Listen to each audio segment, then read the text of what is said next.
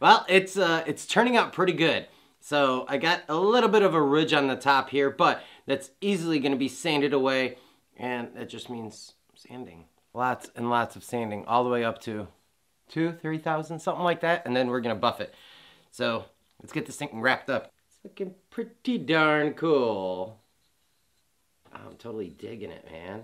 How do I sand you? All right, um, all the way up to 2,000. Just by hand, I guess.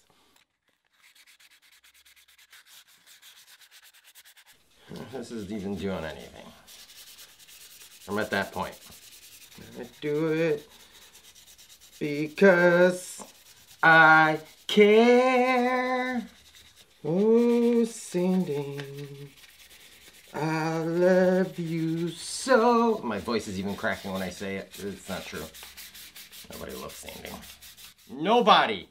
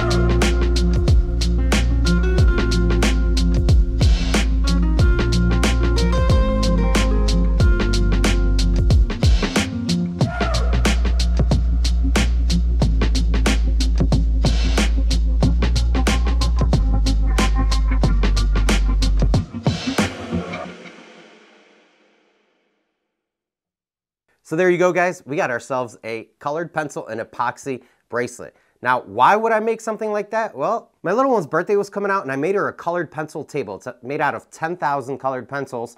And I had a bunch of these left over and figured, why not make her a colored pencil bracelet that she can wear? So it's a little bit big for her right now, but she's gonna grow into it.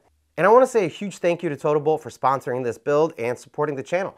I make some crazy things once in a while and they seem to love it. So Thank you so much. So if you guys are new to the channel and you haven't been here before, go ahead and consider subscribing and hitting the bell notification. I got some really, really cool things coming up that I just can't share with you guys yet, but as soon as I can, I will, and there's gonna be a ton of content coming out on that stuff. So thank you so much for joining me on this experience. I will see you guys next time.